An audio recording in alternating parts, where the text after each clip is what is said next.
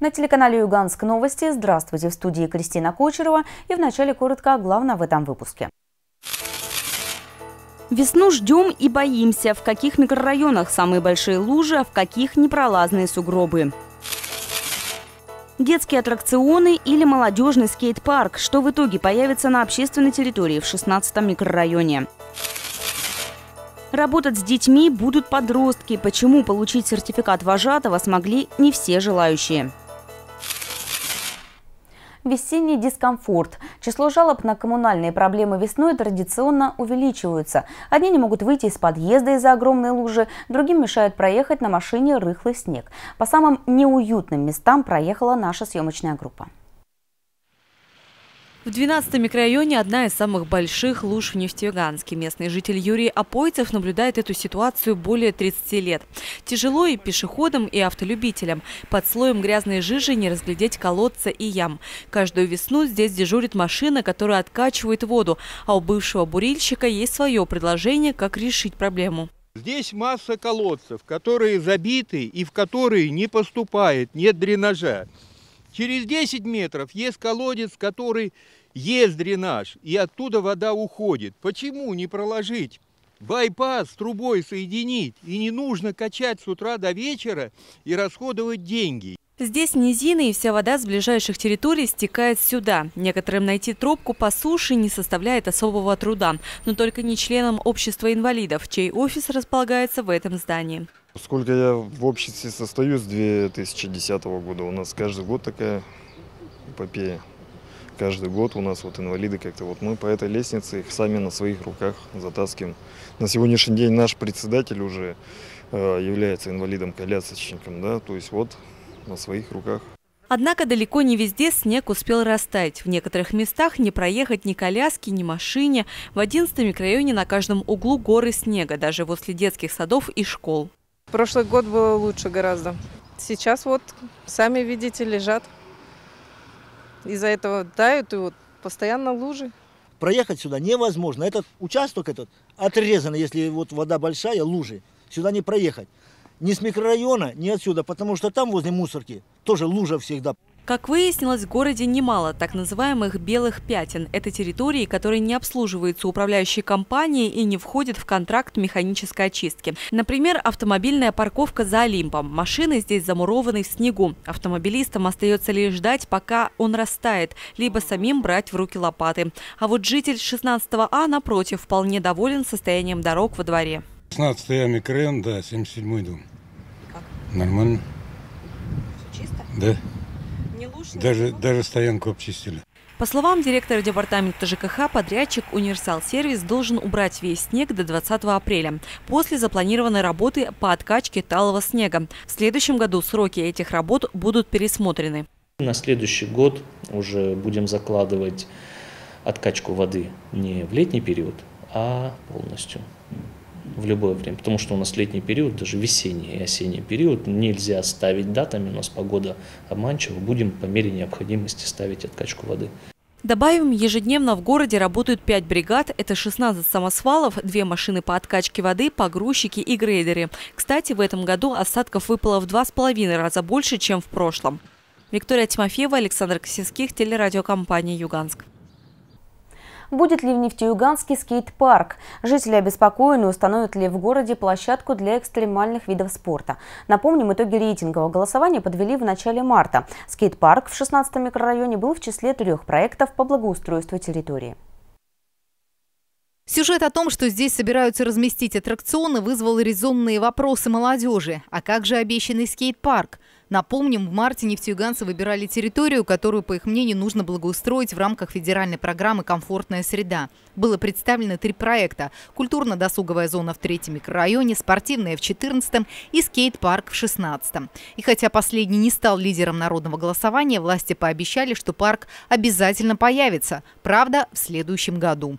Денежные средства, которые выделяли округ, федерации на скейт-парк как раз и не хватило в 2019 году на строительство. Его перенесли на 20 С учетом всего он пойдет как э, в приоритете в любом случае. А этим летом власти собираются разместить на этой территории сезонный парк аттракционов. Окончательное решение будет принято в ближайшие дни на градостроительной комиссии. Как коммунальные заботы превратить в приятные хлопоты? Жители 32-го дома в 8-м микрорайоне знают ответ на этот вопрос. Семь лет назад они создали свое товарищество собственников жилья и сменили управляющую организацию. Сибирский двор и компания поддержала инициативы жильцов. С тех пор дом не узнать. Репортаж Марии Сираевой. Идея создать свое ТСЖ созревала давно. В 2012-м начали появляться первые товарищества, и жильцы 8А32 тоже решили объединиться.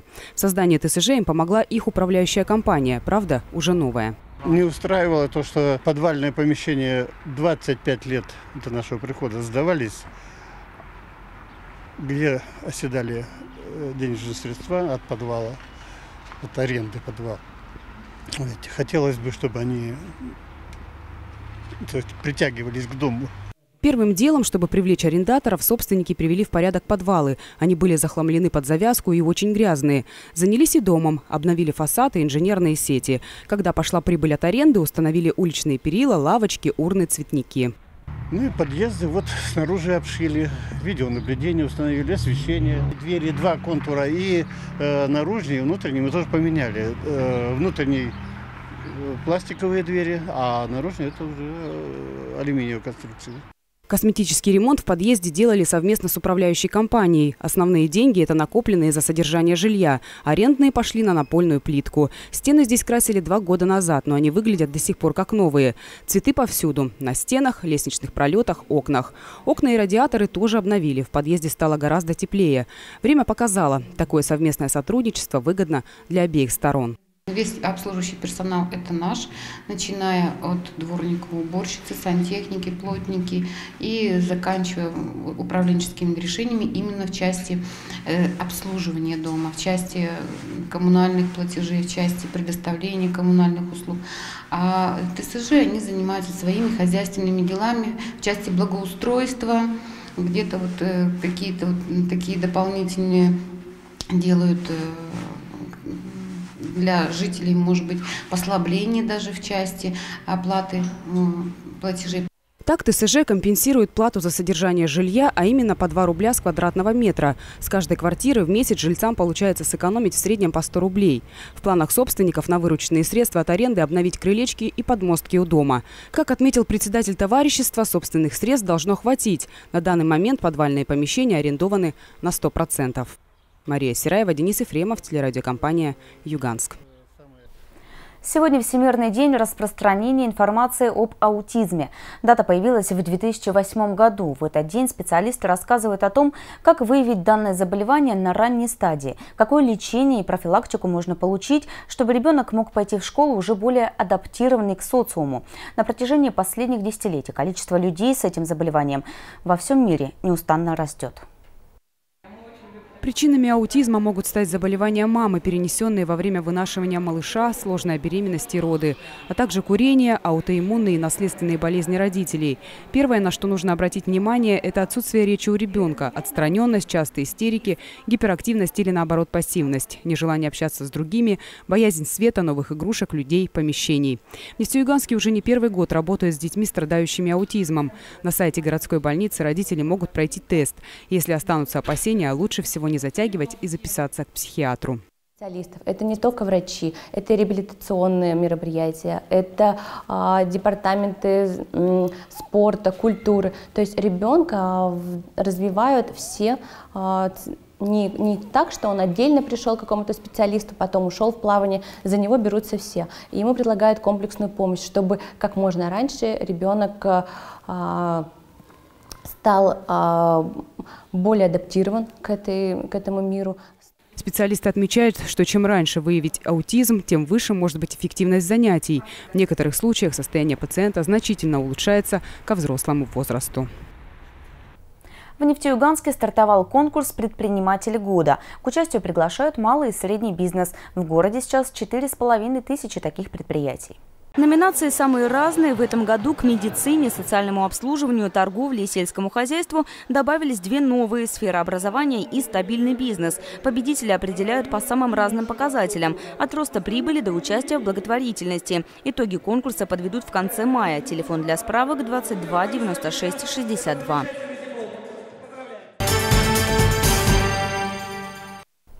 К работе с детьми готовы. В Нефтеюганске завершила свою работу школа вожатского мастерства. На протяжении недели подростки готовились к трудоустройству в летние лагеря. Напомним, без сертификата, подтверждающего обучение, к работе вожатого не допустят. Всем ли удалось сдать профэкзамен, узнала наша съемочная группа.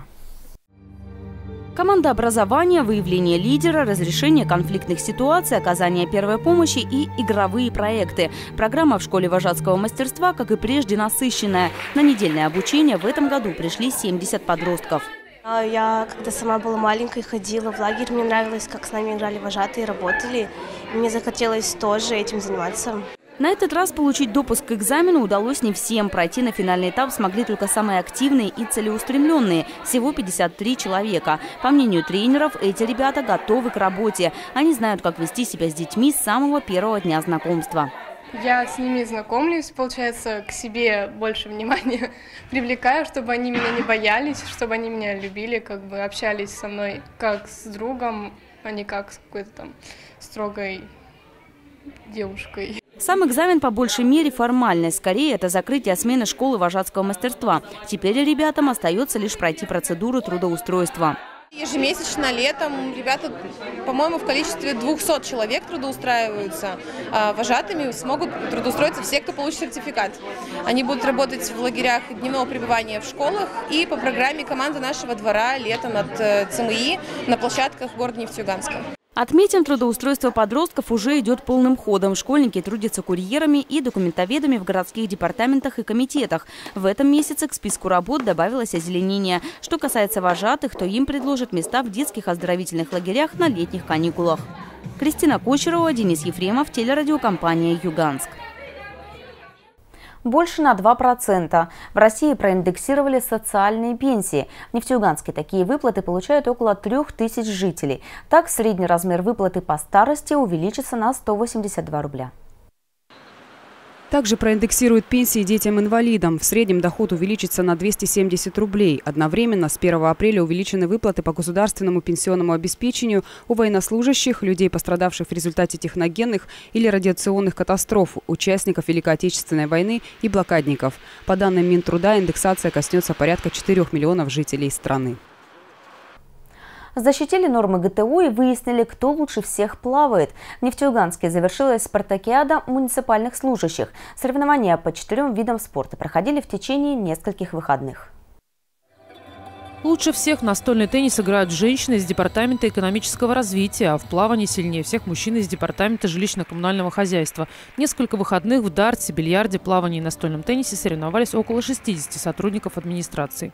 Можете добиться успехов не только э, за рабочим столом, но и в спортивном зале. Поэтому я считаю, что э, вот та команда, которая сегодня здесь находится, команда администрации города Нефтеюганска, достойно может выступить не только у нас, но и принять участие в окружных соревнованиях. В итоге общекомандное третье место у коммунальщиков, второе у Департамента экономического развития. Первыми предсказуемо оказались представители Комитета по физической культуре и спорту.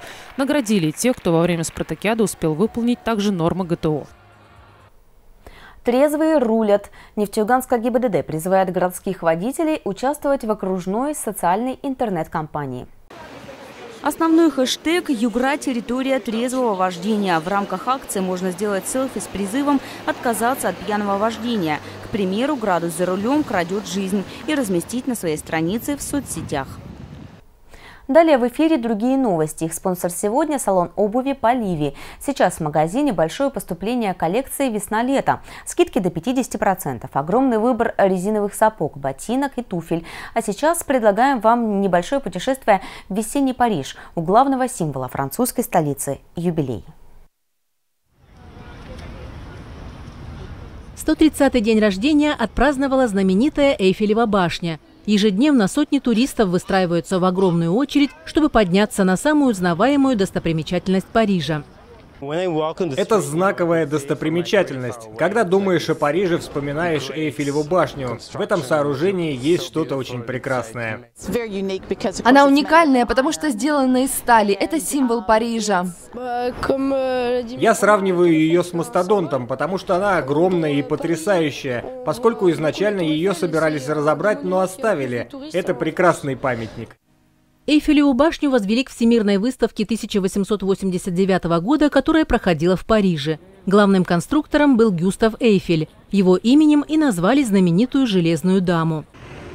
Благодаря высокоточным чертежам строительство башни шло рекордно быстро. Оно закончилось за два года, два месяца и пять дней. Конструкцию сделали из 18 тысяч 38 металлических деталей, для сборки которых использовали 2,5 миллиона заклепок. Строили башню 300 рабочих. Высота Железной дамы 324 метра. Эту достопримечательность не все считают красивой. В 1887 году против ее строительства выступали 300 художников и писателей, в том числе Александр Дюма сын, Ги де Мапассан и композитор Шарль Гуно. Они назвали конструкцию бесполезной и чудовищной. Тем не менее, Эйфелеву башню ежегодно посещают 7 миллионов человек, а за все время существования на башне побывали 300 миллионов туристов. На этом все. Смотрите нас в социальных сетях и делайте новости вместе с нами. Звоните в будни 23 77 47. Всего вам доброго и до встречи в эфире.